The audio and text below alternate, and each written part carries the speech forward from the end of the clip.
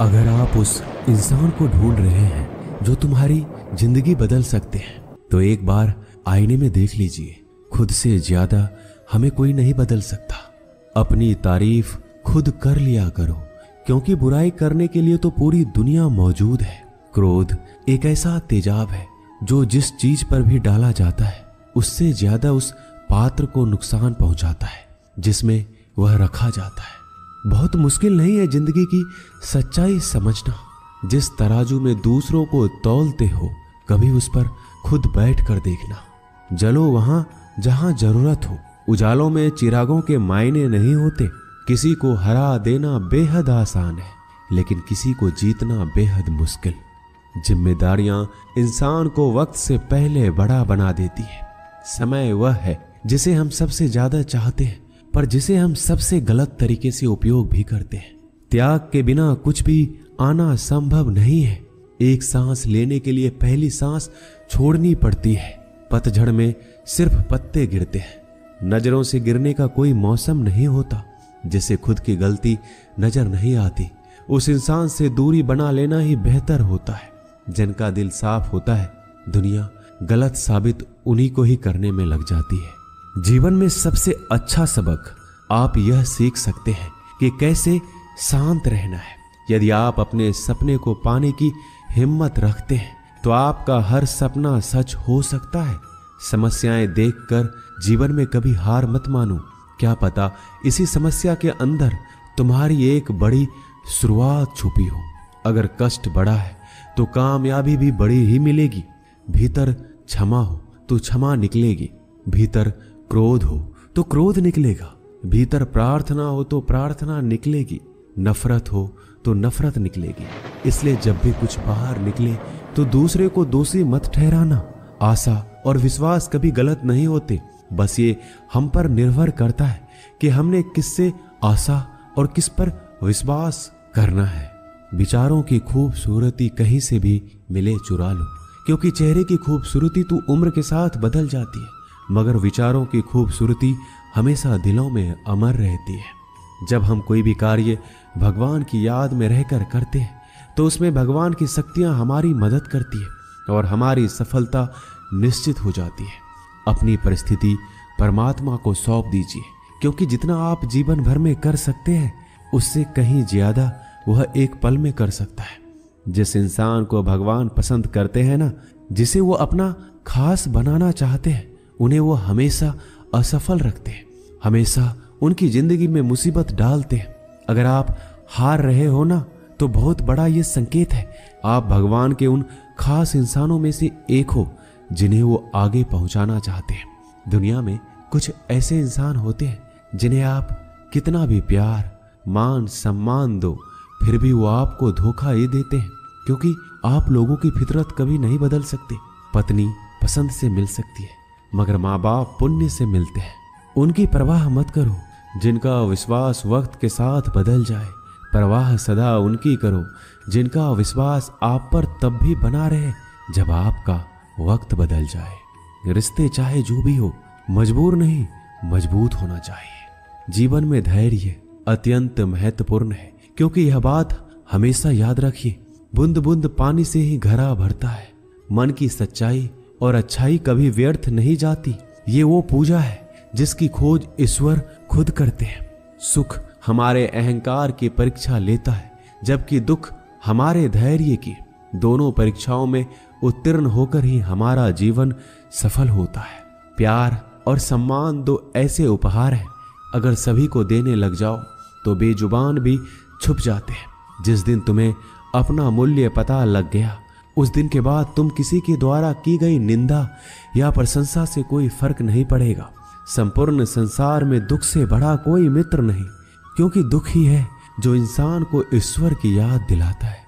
अच्छे व्यक्ति को समझने के लिए अच्छा हृदय चाहिए, ना कि अच्छा दिमाग, क्योंकि दिमाग हमेशा तर्क करेगा और हृदय हमेशा प्रेम भाव देखेगा। सत्य केवल उन लोगों के लिए कड़वा होता है जो लोग झूठ बोलने के आदि हो चुके हैं। हर अनुभव कुछ ना कुछ सिखाता है, इसलिए हर अनुभव महत्वपूर्ण है। हम अपनी गलतियों से भी सीख सकते हैं। पेट में गया हुआ विष केवल एक मनुष्य को मारता है, परंतु कान में गया हुआ विष कई संबंधों को मार देता है। श्री कृष्ण कहते हैं, हर किसी की ज़िंदगी में समस्याएँ हैं, लेकिन इंसान खुद की समस्याओं को ही सबसे ज़्यादा और सबसे बड़ी समस्या समझता है, कड़वा है, पर सच है कि इंसान का व्यक्तित्व तब निखर कर आता है जब वो अपनों से ठोकर खाता है। अगर कोई तुमसे कुछ मांगे तो तुम उसे दे देना, क्योंकि भगवान ने आपको देने वालों में रखा है, मांगने वालों में नहीं। परेशानी में अगर कोई सलाह मांगे तो सलाह के साथ साथ भी देना चाहिए, क्योंकि सलाह गलत हो सकती है, परंतु साथ गलत कभी नहीं होता। अगर ज़िंदगी में सुकून चाहते हो तो लोगों की बातों को दिल से लगाना छोड़ दो, क्योंकि ज़िंदगी आगे बढ़ने का नाम है, रुकने का नहीं। जो व्यक्ति शक्ति ना होते हुए भी मन से हार नहीं मानता, उसको दुनिया की कोई भी ताकत हरा नहीं सकती। रिश्तों की कद्र करनी है तो वक्त रहते कर लीजिए, वरना बाद में सूखे पेड़ को पानी देकर हरियाली की उम्मीद करना बेकार है। दुनिया में सबसे आसान काम है विश्वास खोना। पर सबसे कठिन काम है विश्वास को पाना। उससे भी कठिन काम है विश्वास को बनाए रखना। अभिमान तब आता है जब हमें लगता है कि हमने कुछ किया है और सम्मान तब मिलता है जब दुनिया को लगता है कि आपने कुछ किया है। जब लोग आपकी तारीफ़ करें तो उसमें झूठ खोजिए। अगर आलोचना करे तो उसमें सच की तलाश कीजिए। क्रोध आने पर चिल्लाने के लिए ताकत नहीं चाहिए। लेकिन क्रोध आने पर चुप रहने के लिए बहुत ताकत चाहिए होती है। अपने जीवन में आलोचनाओं और प्रशंसा दोनों को स्वीकार कीजिए, क्योंकि एक फूल भी बेहतरीन ढंग से उगता है, जब उसे बारिश और धूप दोनों मिलते हैं। अगर किसी को कुछ देना है तो उसे अच्छा वक्त दो, क्योंकि आप हर चीज़ वापस ले सकते हैं। मगर किसी को दिया हुआ अच्छा वक्त वापस नहीं ले सकते। अच्छे लोगों की भगवान बहुत परीक्षा लेता है। परंतु साथ नहीं छोड़ता और बुरे लोगों को भगवान बहुत कुछ देता है। परंतु साथ नहीं देता। खुशी के लिए काम करोगे तो खुशी नहीं मिलेगी, लेकिन खुश होकर काम करोगे तो खुशी और सफलता दोनों प्राप्त होंगे। जब इंसान की ज़रूरत बदल जाती है, तब इंसान के बात करने का तरीका भी बदल जाता है। इंसान एक दुकान है और जुआन उसका ताला। ताला खुलता है तब मालूम होता है कि दुकान सोने की है या कोयले की। जब धन कमाते हैं तो घर में चीज़ें आती हैं। लेकिन जब किसी की आप दुआ कमाते हैं तो धन के साथ खुशी, सेहत और प्यार भी आता है। किसी भी व्यक्ति की सहनशीलता एक खींचे हुए धागे की तरह होती है। सीमा से अधिक खींचे जाने पर उसका टूटना तय है। जिसकी फितरत हमेशा बदलने वाली हो, वह कभी भी किसी का नहीं हो सकता। चाहे वह समय हो या इंसान, ज़िंदगी में अगर खुश रहना है तो इन छह बातों को अपनाना ज़रूरी है। सुनना सीखो। खर्च करने से पहले कमाना सीखो। लिखने से पहले समझना सीखो। हार मानने से पहले कोशिश करना सीखो। रिश्ता बनाने से पहले निभाना सीखो। अगर आप जितना कम बोलेंगे, उतने ही आपके शब्द कीमती होते जाएँगे। श्री कृष्ण कहते हैं, वक्त की मार से गुजर रहे हो तो घबराओ नहीं, आप निखर रहे हो। कुछ तो कमी का ही एहसास है, वरना गंगा पर इतनी भीड़ नहीं होती। प्रेम कभी भी अपनी ज़रूरत पूरी करने के लिए नहीं होता। प्रेम हमेशा एक दूसरे के सुख दुख में साथ और भावनाओं को समझने के लिए होता है। अगर आपका कोई शत्रु नहीं है तो इसका मतलब यह है कि आप उन जगहों पर भी खामोश थे, जहाँ बोलना बहुत ज़रूरी था। जीवन में आगे बढ़ना है तो बहरा हो जाओ, क्योंकि अधिकतर लोगों की बातें मनोबल गिराने वाली होती है। बोलने से पहले सोच लो, क्योंकि बोलने के बाद सोचा नहीं, पछताया जाता है। आगे बढ़ने वाला व्यक्ति कभी भी किसी को बाधा नहीं पहुंचाता, और दूसरों को बाधा पहुँचाने वाला व्यक्ति कभी भी आगे नहीं बढ़ सकता। ईश्वर के प्रेम में जो रोने का आनंद है, वह संसार के माया में हंसने का भी नहीं है। मनुष्य घर बदलता है, कपड़े बदलता है, रिश्ते बदलता है, मित्र बदलता है, प्यार बदलता है, फिर भी दुखी क्यों रहता है? क्योंकि वह स्वयं को नहीं बदलता। शस्त्र केवल शरीर को घायल कर सकते हैं, किंतु शब्द आत्मा को भी घायल कर देते हैं। ज़िंदगी में हैरानी भी होती है और बहुत परेशानी भी होती है। सब कुछ अच्छा होता है, जब ऊपर वाले की मेहरबानी होती है। तो मत सोच कि तेरा सपना क्यों पूरा नहीं होता। हिम्मत वालों का इरादा कभी अधूरा नहीं होता। जिस इंसान के कर्म अच्छे होते हैं, उसके जीवन में कभी अंधेरा नहीं होता। अगर आप जीवन में खुश रहना चाहते हैं तो दूसरों की बातों को दिल से लगाना छोड़ दीजिए। सच्चे किस्से शराब खानों में सुनाए जाते हैं, जहाँ हाथों में जाम लिए होते हैं। झूठे किस्से अदालत में सुनाए जाते हैं, जहाँ हाथों में गीता होते हैं। भगवान से ना डरो तो चलेगा, लेकिन कर्म से डरना ज़रूरी है, क्योंकि कर्मों का फल तो भगवान को भी भोगना पड़ता है। ये रोटी भी सस्ती नहीं है, कोई इसे कमाने को दौड़ रहा है। तो कोई इसे पचाने को। अगर दिशा दिखाने वाला सही हो तो दीपक का प्रकाश भी सूर्य का कार्य करता है। बुराइयों से दूर रहने के लिए अच्छाई का विकास कीजिए और अपने मन को अच्छे विचारों से भर लीजिए। लोग जैसे हैं, उन्हें उसी रूप में पसंद करने और स्वीकार करने की कोशिश कीजिए। ना कि अपेक्षा या कामनाएँ कीजिए, वो वैसा हो जाए जैसा आप चाहते हैं। बीते हुए कल का अफसोस और आने वाले कल की चिंता दो ऐसे चोर हैं। जो हमारे आज की खूबसूरती को चुरा लेते हैं। अगर इच्छाओं के रहते प्राण चले जाए तो मृत्यु हो गई, और प्राण के रहते इच्छाएँ चले जाए तो मुक्ति। दरिया बनकर किसी को डुबाने से अच्छा है कि ज़रिया बनकर किसी को बचाया जाए। लोग आपको जरा सी बात पर छोड़ देते हैं, और श्री कृष्ण जरा सी प्रार्थना से आपका हाथ थाम लेते हैं। उनकी बातों की तरफ़ जरा सा भी ध्यान मत दीजिए, जो आपके पीठ पीछे आपकी चुगली करते हैं। इसका सीधा सा अर्थ है कि आप उनसे दो कदम आगे हैं। उपवास हमेशा अन्न का ही क्यों? लोभ, लालच, चुगली, काम, क्रोध और गंदे विचारों का भी तो होना चाहिए। स्वार्थ तो मनुष्य के व्यवहार में शामिल है।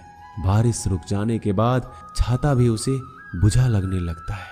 भरोसे में सावधानी भी आवश्यक है, क्योंकि कभी कभी खुद के दांत जीव को ही काट लेते हैं। अर्जुन ने दस लाख सैनिकों को त्याग करके श्री कृष्ण को चुना। यह विश्वास का सबसे उत्तम उदाहरण है। अकेले चलने वाले लोग घमंडी नहीं होते। वो दरअसल हर काम में अकेले ही काफ़ी होते हैं।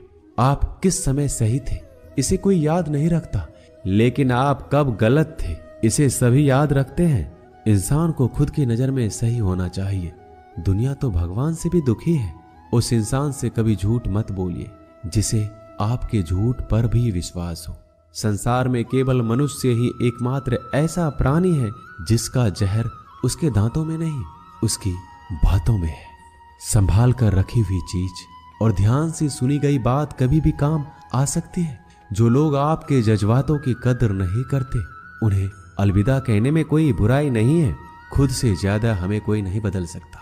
जो लोग आपके बारे में सोचते हैं, वो महत्वपूर्ण नहीं है। जो आप अपने बारे में सोचते हैं, वह महत्वपूर्ण है।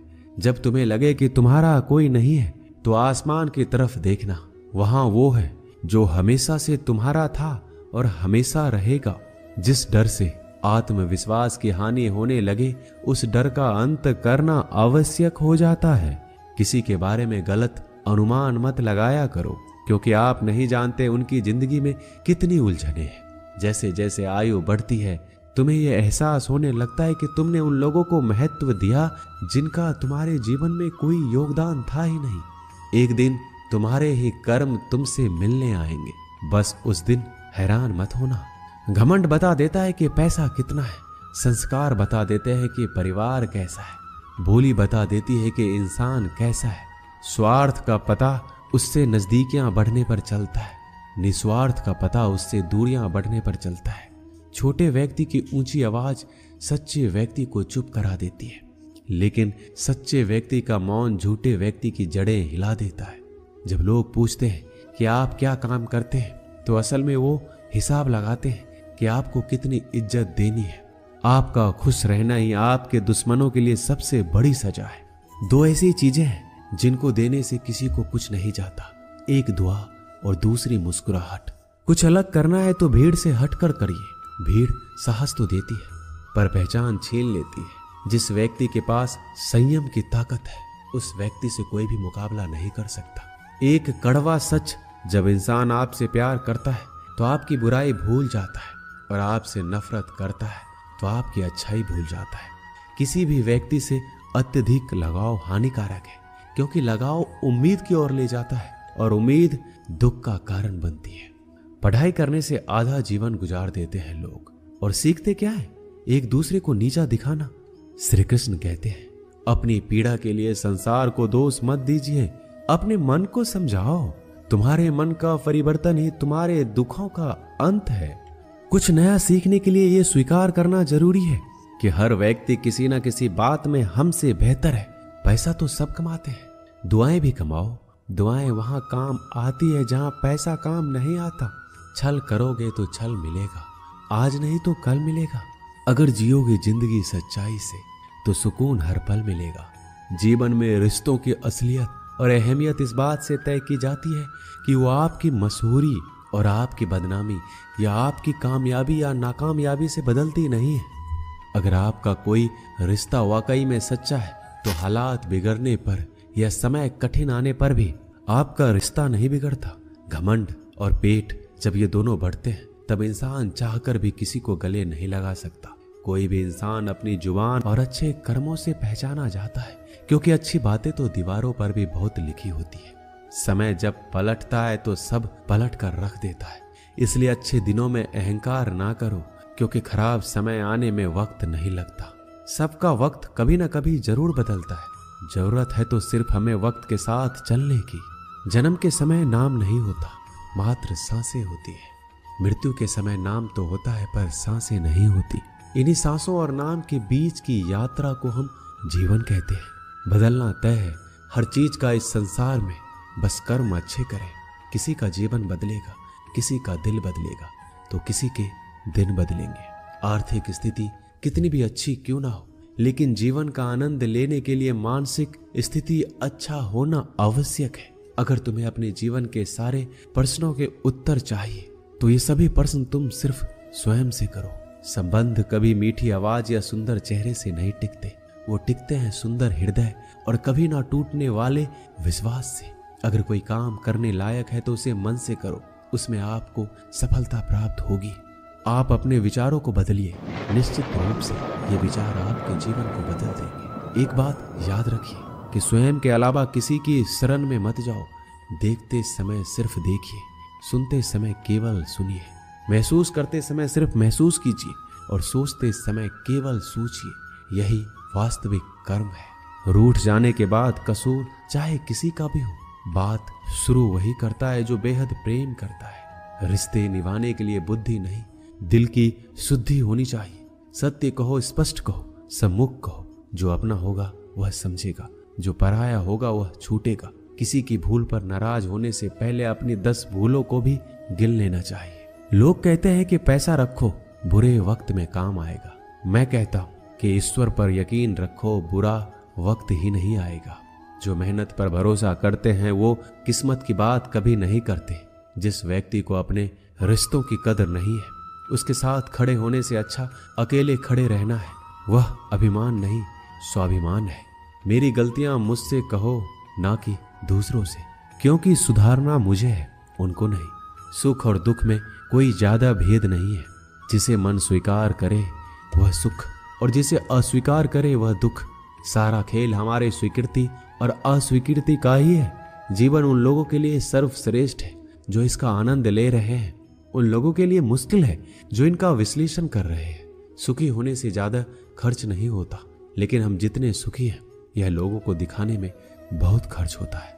शरीर से कोई सुंदरता नहीं है। सुंदर होते हैं व्यक्ति के कर्म, उसके विधाय, उसकी वाणी, उसके व्यवहार, उसके संस्कार और उसका चरित्र, जिसके जीवन में ये सब है। वही इंसान दुनिया का सबसे सुंदर शख्स है। धोखा और छल को इंसान माफ़ ज़रूर कर सकता है, लेकिन भूल नहीं सकता। एक बार एक महात्मा अपने आश्रम में एक छोटे, पालतू कुत्ते के साथ टहल रहे थे। तभी अचानक एक युवक उनके आश्रम में आया और उनके पैरों में झुक गया और कहने लगा, महात्मन, मैं अपनी ज़िंदगी से बड़ा परेशान हूँ। मैं प्रतिदिन परिश्रम करता हूँ, लेकिन आज तक मुझे सफलता नहीं मिली। पता नहीं ईश्वर ने मेरे भाग्य में क्या लिखा है। जो इतना पढ़ा लिखा होने के बावजूद भी मैं नाकामयाब हूँ। युवक की परेशानी को महात्मा जी तुरंत समझ गए। उन्होंने युवक से कहा, थोड़ा मेरे इस कुत्ते को कहीं दूर तक सैर करा दो। इसके बाद मैं तुम्हारे प्रश्नों का उत्तर दूँगा। उनकी इस बात पर युवक को थोड़ा अजीब लगा, लेकिन दोबारा उसने कोई प्रश्न नहीं किया और कुत्ते को दौड़ाते हुए आगे निकल पड़ा। बहुत देर तक कुत्ते को सैर कराने के बाद जब युवक आश्रम में पहुँचा तो उन्होंने देखा कि युवक के चेहरे पर अभी भी तेज है, लेकिन वह छोटा सा कुत्ता थकान से ज़ोर ज़ोर से हाफ़ रहा था। इस पर महात्मा ने पूछा, मेरा कुत्ता इतना कैसे थक गया? तुम तो बड़े शांत दिखाई दे रहे हो। क्या तुम्हें थकावट नहीं आई? युवक बोला महात्मन, मैं तो धीरे धीरे आराम से चल रहा था, लेकिन ये बड़ा अशांत था। रास्ते में मिलने वाले सारे जानवरों के आगे पीछे दौड़ रहा था, इसलिए एक जैसी दूरी तय करने के बावजूद भी ये इतना थक गया। जब महात्मा ने कहा, तुम्हारे प्रश्नों का उत्तर भी तो यही है। तुम्हारा लक्ष्य तुम्हारे अगल बगल है। वो तुमसे कहीं दूर थोड़ी है, परंतु तुम अपने लक्ष्य का पीछा छोड़ करके अन्य लोगों के आगे पीछे दौड़ते रहते हो। और इस तरह तुम जिस चीज़ को पाना चाहते हो, उससे दूर चले जाते हो। युवक उत्तर से संतुष्ट हो गया और अपनी गलती को सुधारने में लग गया। हम भी इस कहानी के कुत्ते के समान दूसरों को फॉलो करने में लग जाते हैं। अगर आपका मित्र डॉक्टर है तो आप भी वही बनना चाहते हैं। भले ही उसमें आपकी कोई रुचि हो या ना हो, ऐसा करके हम अपना प्रतिभा को खो बैठते हैं और ज़िंदगी भर संघर्ष करते हैं। हमें सफलता नहीं मिलती, इसलिए कभी दूसरों को फॉलो मत कीजिए। अपना लक्ष्य खुद बनाइए। और उसके पीछे पूरे लगन से लग जाइए। दोस्तों, इस वीडियो में बस इतना ही। मिलते हैं अगली वीडियो में। अपना ख्याल रखिएगा।